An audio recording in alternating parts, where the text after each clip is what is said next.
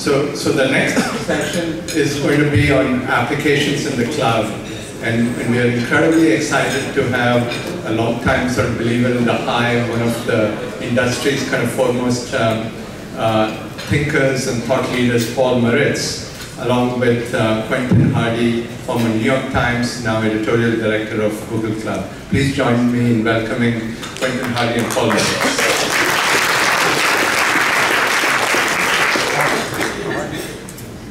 Hey, all. Um, well, I know many of you came here looking for business ideas, so I asked Paul to start with one, and I have one too, and we'll then we'll work back. So, what's a good business idea for the room? Well, the, the one, one of the uh, great things about going not first to these conferences, you can have an opinion on what everybody else before said. Uh, so I want to reinforce uh, not so much a business idea, but a caution uh, that I think came out of these two previous talks. Uh, and it reminds me of uh, uh, about four or five years ago when this whole machine learning thing was just starting to get going, and I went out to visit, I think it was Unocal out in the, East Bay, and they're sitting there with a bunch of grizzled old geophysicists, uh, and I was gushing forth about all the miracles you could do with modern statistical neural net-based machine learning, and eventually the guy said, stop, or grizzled geophysicist said, stop. Said, you know what? Every time I hear one of you guys say machine learning, I say, go fetch the chicken. Because I know voodoo's coming next. and, uh, you know, it, it's really important to remember that machine learning is inherently naive. Uh, it can provide correlation, but not causation. Uh, and I, I, I think the, what I'm starting to see now, and this is kind of the business idea, if you like, is it's really important to, when you're looking at injecting machine learning into a business idea, to combine it with real knowledge of causality. Uh, in other words, the, it's not enough, for instance, in the IoT world, just to have machine learning to try and find anomalous pat patterns in the signal. That doesn't tell you causation. You need to combine that with an actual physics-based digital model that gives you some idea of how to make inferences from the patterns that you're seeing. And I think it's those companies that combine uh, the ability of, of, machine learning to very rapidly detect uh, patterns in data, but then combine that with the ability to make inferences, which has to be based on actual theories there's, there's a big data science conference in New Orleans this week, and they had something like 400 different whiteboard talks uh, around the room, and most of them, it seems like, have something to do with explainability, you know, which is just a huge area inside this. Tell me why this makes sense. Take the, you know, point to the bias, you know, figure out, because AI and machine learning, they're pattern finding at scale. You know, you can demystify it pretty quickly, right? Um, so I'll, I'll, do my business idea. Good, and uh, then we can work back into why. Are you, taking, are you going to ask for funding afterwards? Absolutely. Actually, I'll do two business ideas. One, Michael Chui talked about like how these, you know, part of the business can be done by ML, but not all of it, right? And people will still be in the picture. Well, Michael Chui then had to leave because he had a flight to London. Someone wants to meet Michael Chui later this week, and he has to be there in person. And all of you are affluent, intelligent, busy people who came here to be in this room. Human moments are super valuable. What AI hasn't done yet is help allocate human moments particularly well. Like in a business, to find to get AI that says, this is the highest value thing you could be doing with another person. Much like that engineer the first speaker talked about, you know, who has to call a customer. Call a customer this week, here's the most high value customer you can talk to. Something like that would be a nice little service. But my own. You want to do that for conferences as well? Absolutely. Here's the most, 10 most valuable people you might want to meet. Um, and, and what to ask them about, you know, what's on their minds. But um, in terms of cloud applications in the cloud, which is the subject of our talk today, I think what's very interesting right now is the way in which, I'm going to argue cloud is a platform, you can argue whether or not it is, but all new tech platforms in some sense evoke or create new types of data from new directions. And that calls for new types of databases and new data activities. So some kind of dashboard against which applications can have new databases suggested or easily interoperated, I think will be a feature inside cloud. Yeah, and this gets into the discussion that, uh, that you touched on there, which is, in what way is cloud a platform or not a platform? Uh, and the reason I didn't think about this is typically in history, when we've had a new platform, there have been certain companies in the applications or services space, services space that have emerged as the winners on that uh, on that particular platform. They typically be new companies that then disrupted old companies. Uh, you know, uh, uh, to, to, your point about databases and change, for instance, I remember Hasso Plattner of SAP uh, telling me that when he made the decision to rewrite what was then R2, which was one of the several mainframe-based packages, and come up with R3, uh, he made the then avant-garde decision to base it on a relational database. Mm -hmm. uh, this is probably 1987, 88 in there, and he says it nearly killed the company because in 1987 or 88, uh, the relational database was too computationally intensive to run on a mainframe. And Oracle had been and, and, and they nearly, well, it was, they nearly went bankrupt because of that, but Oracle, which was based on Unix mini computers, which are powered by microprocessors that are making CPU cycles dramatically cheaper, saved the company. And that gets into this issue of, is the cloud a new platform, and, and is it a new platform from an architectural perspective, or is it a new platform from a delivery perspective, or both? If you look at it from an architectural perspective, the only thing that's fundamentally different, I think, about the cloud is the potential for much greater parallelism. Uh, what is different from a developer's perspective about the cloud is, is that you now can conceivably go to your engine, the cloud, and say, I want a thousand memory and CPU instances, and I want them for the next 30 minutes, and I'm going to give it back to you. And I'm going to apply that to my problem. Uh, and that really has, that degree of parallelism, and one other case I'm going to get to, hasn't really been exploited yet, except perhaps in the Hadoop infrastructure. Uh, you know, Google likewise had to make a very uh, important decision, and they tried to index all the world's information because back in the late 1990s, already the world's the index for the for the whole internet was going to be many gigabytes big. And if you had gone to Oracle in 1999 and said, give me 20 gigabytes uh, of data storage, uh, Oracle would be happy to sell it to you and they would have given you a $10 billion check or, or, or, bill for doing that. So they had to go this route of massive parallelization of very cheap machines. And that, you know, gave birth to Hadoop, et cetera, and now Spark, et cetera.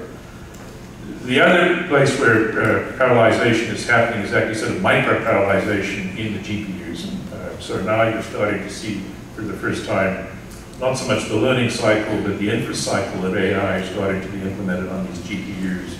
Uh, and you can say that that is, that is a new capability now that developers can reach for. Mm -hmm. but I don't think we've really seen that play out in the with the exception of and Spark, maybe as, as, as saying this is the canonical service that is only available on the cloud, viewed as an architecture versus uh, other approaches. Most other approaches have really been about the cloud as a, as a place and a delivery mechanism. Uh, and those really haven't given rise to new applications. They've really given mostly rise to new business models. Mm -hmm. I mean, there's, there's nothing inherently technically complex with one exception uh, in what Uber did. Uh, the one service that I think actually Uber probably needed to get started, which they could only have got from the cloud at that time, is actually Google Maps, uh, which I think, if you think about it, at least for me, was, was what made the initial use of Uber an epic experience, because instead of taking the driver's word for it, you could actually look at a goddamn map and see whether it really was coming to you or, or not. And it, it would have been prohibitive for a startup company to try and assemble a complete map uh, of their own. So being able to get that as a service out of the cloud probably was a critical enabling function. So one of the things I've been trying to think through are, what are the other such services uh, that would enable a new generation of applications if we have them freely available in the cloud? Well, I think the other thing about Uber, Uber is an interesting case, and we're starting to see a similar phenomenon in traditional businesses. What Uber did, in a sense, was virtualize cars into taxi fleets by using mobility, social network design, um, mobile payments, all through the cloud. You couldn't have, you couldn't have capitalized the prototype. You had to have a cheap cloud to do that, for sure. And in a sense, that kind of prototyping and modeling as a digital event of a taxi fleet is now taking place in some companies. We had a company on stage uh, at our event next last month. This company is Sandvik. I, I don't know if you've heard of them. They're a Swedish company. They do mining and they have machines that turn ingots into machine parts. And this is an area where that machine on the factory floor is essentially from about 1965. It's got 200 buttons. It takes two years to learn how to use it. It's very cumbersome. It's also how pretty much every car door and airplane wing in the country gets made, in the world gets made. It's utterly critical stuff. And you know, it just sort of gone along in the same process for ages.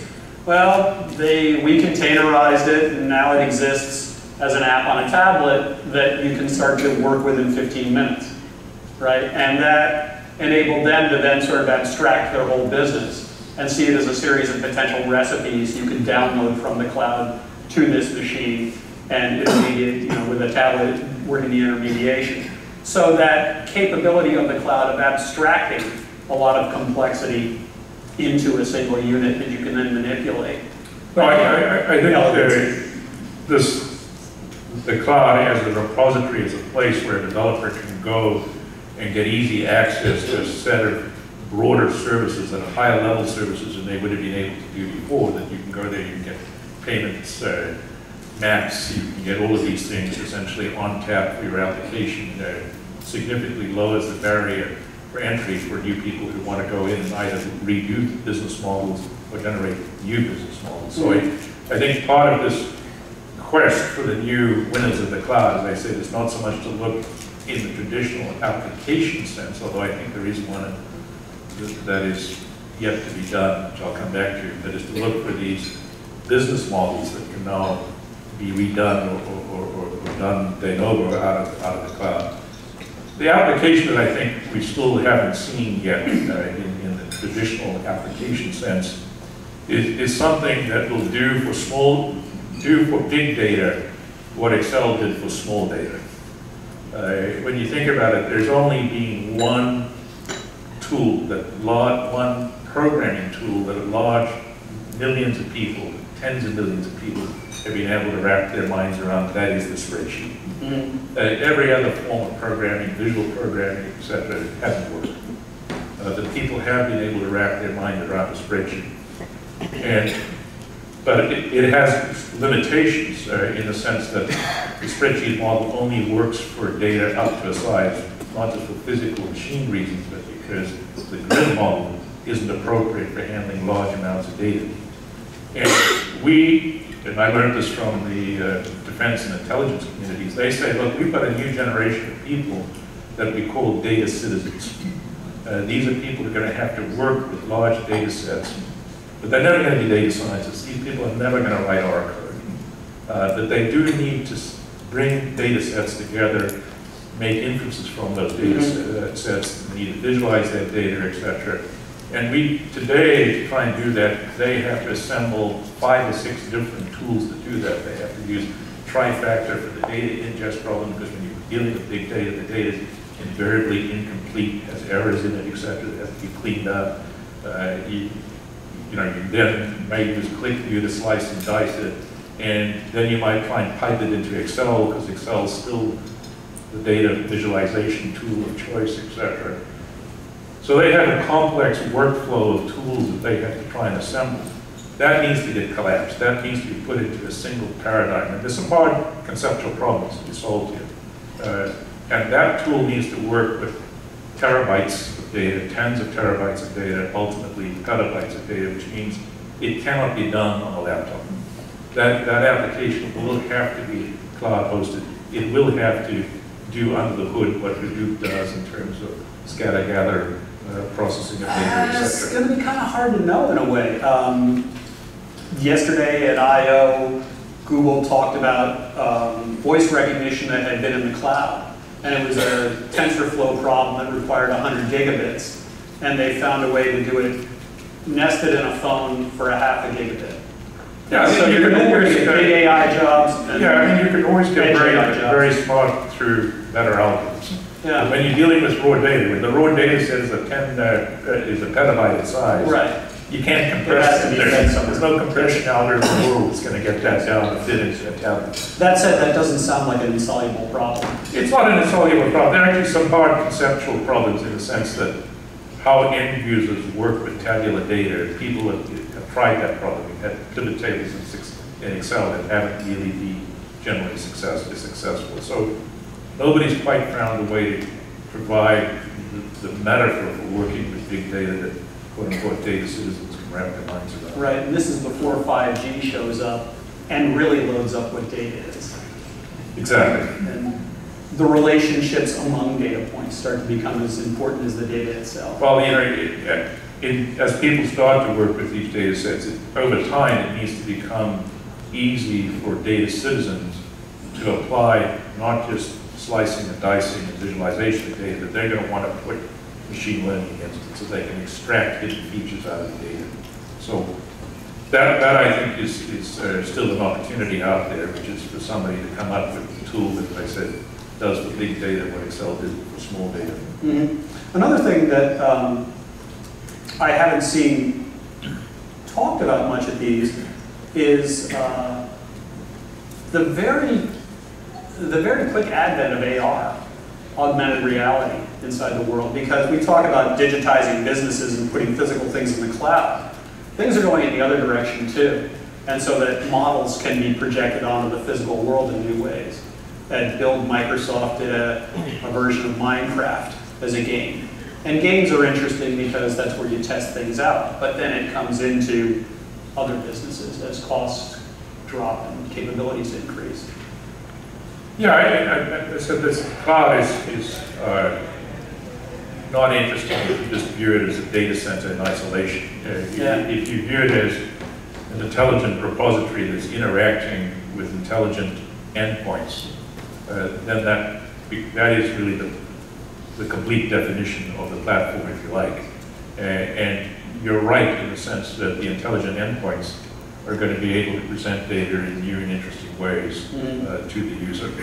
So I think, you know, that is an interesting time. Uh, So I think it's possible that even though I say up until now, cloud's biggest impact really has been to enable new business models, that pendulum may swing and we may yet see some really interesting new gen- applications come out of it as well. This is like that edge core dynamic that made Cisco rich, isn't it? Like more powerful edge challenges a core. Well, you know, Yeah. you know, we- Build a bigger core, you can do more at the edge. As you and I were- saying, you know, we- stay long enough in this industry, you'll see it come around again. Yeah, Uh, except uh, quantitative changes are qualitative changes. Yeah, When you can compute that much without more, any- Without any question. you're in a new space. But Maybe we have to go a minute to 30 Let's do seconds. Is there one question, two questions? How we doing Or just an opinion? I'd love to hear. Take a question, Uh, throw a brick, got anything? Any questions? A- Anybody have an idea of a great app for the cloud? Yeah, come on. You got a room full of VCs here. Checkbooks ready. What would you like to call the fun? That's, that's my question. You touched upon the 5G, right? How the 5G is going to bring you know, some of the application closer to uh, all the users and some of the high you know, uh, gigabit or petabytes, you know, so on, right? Um, is the service provider, you know, up to it? Are they looking at you know, the cloud native, uh, you know, virtualization of their network services and integration with IoT and all of that? Do you see that happening? Uh, you know, you shouldn't ask me about service providers, uh, you know, uh, but, but I'm retired now, so what the hell, you know. The, the, uh, the answer is no, they're not. uh, they talk a good line, but at the end of the day, they're dumb pipes. Uh, and they're, you know, they, other people will take advantage of the capabilities they provide, and, and, and and that's actually the way it should be, uh, in my opinion. Uh, uh, Now, they, they are gonna, there is gonna be the need for uh, the ability, as they manage their networks now, to to have much more sophisticated, capable diagnostic tools, uh, simply because the amount of traffic going cars is gonna be that much greater. Okay, thanks a lot. Okay.